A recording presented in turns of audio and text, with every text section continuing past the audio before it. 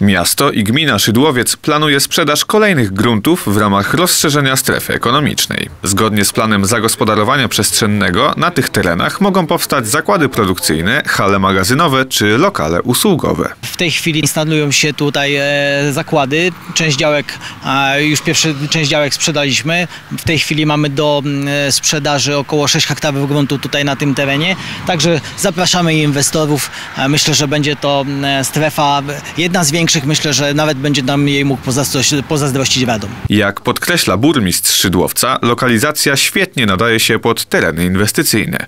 Chodzi tu zarówno o oddalenie od terenów mieszkalnych, jak i bliskość kluczowych węzłów komunikacyjnych. Te grunty dzielnicy przemysłowej wręcz graniczą z terenami Generalnej Dyrekcji Dróg Krajowych i Autostrad z, z, z drogą e, S, S7. Ponadto największy w Polsce terminal kolejowy jest pod Skarżyskiem, czyli około 10 ki- kilometrów stąd. Myślę, że e, ta lokalizacja i te atuty tej lokalizacji również mogą zachęcić potencjalnego inwestora i e, skłonić do tego, że zainwestuje w Szydłowcu, no, na co oczywiście mamy nadzieję. W sumie na potrzeby strefy przemysłowej Szydłowiec przeznaczył ponad 80 hektarów gruntów. Kolejne przetargi mają być ogłoszone wkrótce.